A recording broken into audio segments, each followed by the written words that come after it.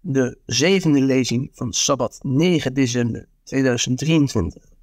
De overblijvende gemeente. Geschreven door broeder Petkov uit Bulgarije. Het glorieuze beeld van Gods zuivere gemeente wordt in de schrift voorgesteld door het symbool van een in het wit geklede vrouw. En er verscheen een groot teken in de hemel. Een vrouw, bekleed met de zon en de maan, was onder haar voeten en op haar hoofd een kroon van twaalf sterren. Openbaring 12, vers 1. Ja, de ware apostolische gemeente, zo lang verborgen en verstrooid, zal weer zichtbaar worden op aarde.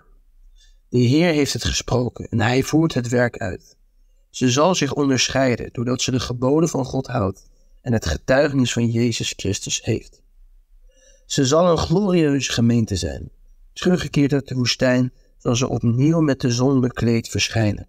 Ze zal een scherp conflict hebben met de wereldbeheersers van de duisternis. Maar de Heer zal verschijnen voor haar bevrijding. En ze zal met het lam op de berg Sion staan, met de harpen van God. Advent Review and Sabbath Herald, volume 25, van 21 februari 1865. Voordat deze glorieuze toestand wordt bereikt, zal de gemeente zware beproevingen vervolging en aanvallen van de vijand doorstaan.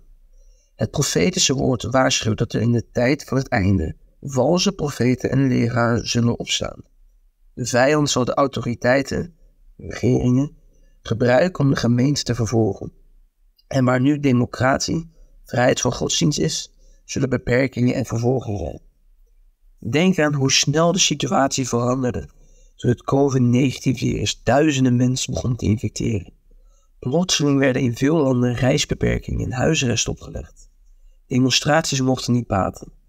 De grondwetten, die vrijheid beloofden, werden niet veranderd, maar de beperking van mensenrechten en vrijheden werden afgedwongen met een strengheid die deed denken aan de Tweede Wereldoorlog. De Bijbel zegt: En dan zullen er velen struikelen, en ze zullen elkaar overleveren en elkaar haten. En doordat de wetteloosheid zal toenemen, zal de liefde van velen verkielen. Maar wie volharden zal tot het einde, die zal zalig worden. Matthäus 24, vers 10, 12 en 13. De strijdende gemeente. De tijd van schudding en beproeving wordt de strijdbare tijd van de gemeente genoemd. En het raak stond voor de vrouw, die op het punt stond te baren, om haar kind te verschrinden, zodra ze het gebaard zou hebben. Openbaring 12, vers 4. De grote strijd in de hemel heeft zich voortgezet op aarde waar kwaad en goed tegenover elkaar staan in een verschrikkelijke confrontatie. De gemeente is de strijdbare kracht aan de kant van God. Want wij hebben de strijd niet tegen vlees en bloed, maar tegen overheden, tegen de machten, tegen de wereldbeheersers van de duisternis van dit tijdperk, tegen de geestelijke machten van het kwaad in de hemelse gewesten. Toen brak er oorlog uit in de hemel. Michael en zijn engelen voerden oorlog tegen de draak. Ook de draak en zijn engelen voerden oorlog. Efeze 6 vers 12 en Openbaring 12 vers 7. De strijdende gemeente is niet volmaakt. Alle gelovigen en leden bevinden zich in een proces van heiliging. Strijden de goede strijd van het geloof, verliezen en overwinnen, vallen maar staan weer op en streven naar de eindoverwinning. De wijze Salomo beschreef dit proces. Want al wat een rechtvaardige zevenmaal hij staat weer op. Maar goddelozen struikelen in onheil. Spreuken 24 vers 16. De rechtvaardige is diegene die telkens weer opstaat. Hij geeft nooit op, maar blijft vechten en leren, nieuwe ervaringen opdoen, zich overgeven aan de leiding van de geest. Ik herinner me hoe een zuster die bijbelstudies volgde, worstelde om vegetariër te worden. Op een sabbat vertelde ze ons haar ervaring. Een maand lang had ze geen vlees, terwijl ze zich voorbereidde op de doop. Op een dag liep ze langs de vleeswinkel en ze zag worst in de rekken hangen. Haar edelus werd opgewekt en ze ging de winkel binnen, pakte er een, kocht hem en rende naar huis met het verlangen om hem op te eten. Maar voordat ze thuis aankwam, was haar volhardend vermogen op. Ze ging het huis binnen, trok de worst uit de verpakking en verslond hem. Maar ze zei dat de laatste keer in haar leven was dat ze vlees had gegeten. Ze schaamde zich zo voor wat ze had gedaan, dat ze een definitieve beslissing nam. tot God bad en de overwinning ontving die haar gereed maakte voor de dood. Vaak herinnerde zich de strijd en getuigde ze van haar verbeterde gezondheid en de vreugde van het vegetarisch zijn. Dit is slechts een van de vele soortgelijke ervaringen die de mensen van God hebben opgedaan op hun weg naar het hemels koninkrijk. Wees niet ontmoedigd in de tijd van de strijdbare ervaring. Sta op en zet de reis voort. De Heer heeft een geneesmiddel voor hen die ziek zijn, niet voor hen die gezond zijn. Hij kwam om zondaars te redden, niet te rechtvaardigen. Om deel uit te maken van het overblijfsel moeten we afhankelijk zijn van Christus recht, gerechtigheid, kracht en verlossing. De geest en de kracht van Elia. Het werk van Johannes was door de profeet Malachi voorzegd. Zie, ik zend u de profeet Elia, voordat de grote en geduchte dag des Heren komt. Hij zal het hart der vaderen terugvoeren tot de kinderen en het hart der kinderen tot hun vaderen, opdat ik niet komen en het land treffen met de ban. Malachi 4, vers 5 en 6. Johannes, de doper, werkte in de geest en in de kracht van Elia, om de Heere de weg te bereiden en de ongelovigen tot het goede te bekeren. Hij was een voorbeeld voor hen die in de laatste dagen leven, aan wie God heilige waarheden toevertrouwd heeft, die zij het volk zullen brengen om de weg voor de tweede komst des Heren te bereiden. En dezelfde grondregels der matigheid die Johannes opvolgde, moesten door ieder beoefend worden die daartoe geroepen zijn om in de laatste dagen de komst van de Zoon des Mensen aan de wereld te verkondigen. Geluk en gezondheid, hoofdstuk 3. Invloed van de stimulerende middelen. De Heer verwacht niet alleen een persoonlijke reformatie van zijn gemeente aan het einde der tijden, maar ook een waarschuwingsboodschap aan de wereld. De gevallen kerken geven valse hoop en een gedeeltelijke waarheid over het verlossingsplan. Zij is gevallen, zij is gevallen, Babylon, waarschuwt Gods woord in de laatste genadeboodschap, die het veld zal voorbereiden voor de oogst. Ga uit haar weg, volk, zodat u geen deel hebt aan haar zonde, en omdat u niet van haar plagen zult ontvangen. Roept de stem uit de hemel. Dus openbaring 14 vers 8 en 18 vers 4. De geest en de kracht van Elia zullen deze boodschap begeleiden. De profeet Elia leefde in de turbulente tijd. In Israël bevorderden koning Agab en koningin Izebel Baalverering en totale afvalligheid van de goddelijke principes. De profeet geloofde oprecht dat hij de enige overgebleven gelovige was. Dit zal de ervaring zijn van het overblijfsel aan het einde der tijden. Maar zal de zoon des mensen, als hij komt, wel het geloof op aarde vinden? En doordat de wetteloosheid zal toenemen, zal de liefde van velen verkillen. Maar wie volharden, zal tot het einde die zalig worden. Lucas 18 vers 8 en Matthäus 24 vers 12 en 13. De boodschap van Elia op de berg Karmel was krachtig.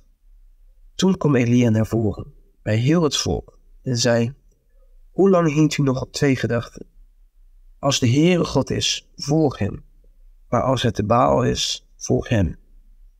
Maar het volk antwoordde hem niet één woord. 1 Koning 18 vers 21. Hij maakte het offer klaar om aan God te offeren. En in antwoord op zijn gebed daalde vuur uit uit de hemel neer en verteerde het. De reformatie begon met kracht en alle profeten van Baal werden verwijderd. De Israëlische natie begreep toen dat Jehovah de ware God is. Een soortgelijk werk van zuivering en reformatie wordt, wordt voorzegd voor Gods volk aan het einde der tijden. Elia profeteerde over de regen die zou komen. Daarna zei Elia tegen Agab, ga op weg, eet en drink, want er is een gedruis van overvloedige regen. 1 Koning 18 vers 41 Wanneer de, de ware reformatie plaatsvindt, zal de regen van de Heer worden uitgestort. Het is waar dat in de tijd van het einde, wanneer Gods werk op aarde zal worden afgesloten, de ernstige pogingen door toegewijde gelovigen onder de leiding van de Heilige Geest gedaan, vergezeld zullen gaan van bijzondere tekenen van goddelijke genade. Onder het zinnenbeeld van de vroege en de spade regen, die in oosterse landen valt ten tijde van zaaiing en oogst, voorspelde de Hebreeuwse profeet de gave van geestelijke genade in buitengewone mate op Gods gemeente. De uitstorting van de geest in de dagen der apostelen was het begin van de vroege regen en glorierijk was het resultaat. Tot het einde der tijd zal de geest bij de ware gemeente vertoeven. Van Jeruzalem tot Rome, bladzijde 39 en 40. In Duitsland werd in Der Sabbatwachter, oftewel de Sabbatwachter, de ervaring van de Duitse broeder uit Tsjechië gepubliceerd. Hij weigerde dienst in het leger tijdens de Tweede Wereldoorlog. Nadat hij gevangen was genomen, besloten de bewakers hem te doden. Ze gaven hem geen eten meer en lieten hem verhongeren. Na twintig dagen openden ze de deur van de cel van de gevangene. In de verwachting dat hij op het punt stond te sterven. Wat ze niet wisten, was dat God de leiding had. En hij is degene die beslist wie er leeft en wie er sterft. Elke dag bracht hij een rat rood naar de broeder in zijn cel. De bewakers waren zo bang voor deze bovennatuurlijke tussenkomst dat ze de broeder vrijlieten. Hij vertelde deze ervaring persoonlijk. De geest en de kracht van Elia zullen er leven en worden getoond in de overblijvende gemeente. De afvalligheid van Babylon zal gezien worden en velen zullen zich bij het overblijfsel voegen. Maakt u deel uit van dit belangrijke werk. Weglopen. Wat doet gij hier, Elia? Ik heb u geboden terug te keren naar Israël en te staan voor de afgodische priesters op de Karmel. Ik heb u omgord met kracht om de wagen van de koning voor te gaan naar de poort van Israël. Maar wie heeft u naar de woestijn gezonden? Welke boodschap hebt gij hier? Profeet en Koningin, bladzijde 104. Dit vroeg de Heer toen hij Elia in de grot ontmoette. Vaak leidt teleurstelling ons tot verkeerde beslissingen. Weglopen is de gemakkelijkste manier om verantwoordelijkheid te ontlopen. Luisteren naar en gehoorzamen aan de stem van angst. Op een vergelijkbare manier probeerde, probeerde de profeet Jona weg te lopen van een plechtige plicht. Er zijn veel excuses die de menselijke geest verzint, maar de meeste worden door God niet geaccepteerd. De kapitein kwam bij hem en zei tegen hem: Hoe kunt u zo diep in slaap zijn? Sta op, roep uw God aan. Misschien zal die God aan ons denken, zodat wij niet vergaan. Jona 1, vers 6. De slaperige toestand van de gemeente is haar grootste gevaar in de eindtijd. De tien maagden van Matthäus 25 wachten trouw op de komst van de bruidegom, maar ze vielen in slaap. De geestenprofetie schreef: Het gepredikte woord zal krachteloos zijn voor de overtuiging en bekering van zielen, terwijl een slaperige, luie en achteroverleunende gemeente het enige is dat overblijft om de inspanningen van de arbeider te ondersteunen. De inspanningen van de vertegenwoordigers van Christus zullen alleen succesvol zijn als ze ondersteund worden door een serieus, eerend, werkend volk. Selections from the testimonies to the managers and the workers in our institutions, bladzijde 31. De boodschap aan de periode van de Laodicea-gemeente zegt: Zie, ik sta aan de deur en ik klop. Als iemand mijn stem hoort en de deur opent, zal ik bij hem binnenkomen en de maaltijd met hem gebruiken en hij met mij. Openbaring 3, vers 20. Het is tijd voor diepe overdenking. Heb ik Jezus in mijn hart of staat hij buiten? Klopt hij en wil hij binnenkomen? Slapen we net als Jona en negeren we de storm die raast in de verloren gaande wereld? Vluchten we en verstoppen we ons in een grot, bang voor consequenties en vervolging? Als we de stem van de Heer horen, kan zijn woord zijn: Wat doet hier, Elia? 1 Koning 19, vers 9. Aansluitend bij de gelederen van het overblijfsel. Mijn schapen horen mijn stem en ik ken ze, en zij volgen mij. En ik geef hun eeuwig leven, en zij zullen beslist niet verloren gaan in eeuwigheid, en niemand zal ze uit mijn hand drukken. Ik heb nog andere schapen, die niet van deze schaapskooi zijn. Ook die moet ik binnenbrengen. Zij zullen mijn stem horen. En het zal worden één kudde en één herder. Johannes 10, vers 27, 28 en 16. Een andere plechtige verantwoordelijkheid van het overblijfsel is dat de gelovigen zich verenigen. De geest van de Heer roept Gods gezin op om zich te verenigen en de laatste boodschap aan de wereld te geven. Omdat ze alle één zullen zijn, zoals u, Vader in mij en ik in u dat ook zij in ons één zullen zijn, opdat de wereld zal geloven dat u mij gezonden hebt. Johannes 17, vers 21. De geest van onafhankelijkheid is niet de geest van Elia. Het betekent de verkeerde weg volgen, die door de vijand is uitgestippeld. Iemand die buiten de organisatie van Gods gemeente werkt, doet zijn wil niet. De geïnspireerde pen schreef: Velen menen dat zij voor hun licht en religieuze ervaring alleen tegenover Christus verantwoordelijk zijn, onafhankelijk van zijn erkende volgeling op aarde. Jezus is de vriend van zondaren en hij is met hun ellende begaan. Hij heeft alle macht in de hemel en op aarde, maar hij acht de middelen hoog die hij tot verlichting en redding van de mensen heeft bestemd. Hij verwijst zondaren naar de gemeente, die hij tot een kanaal van licht voor de wereld heeft gesteld. Van Jeruzalem tot Rome, bladzijde 90. Mijn beste vriend, wilt u niet streven naar een lidmaatschap van deze gemeente?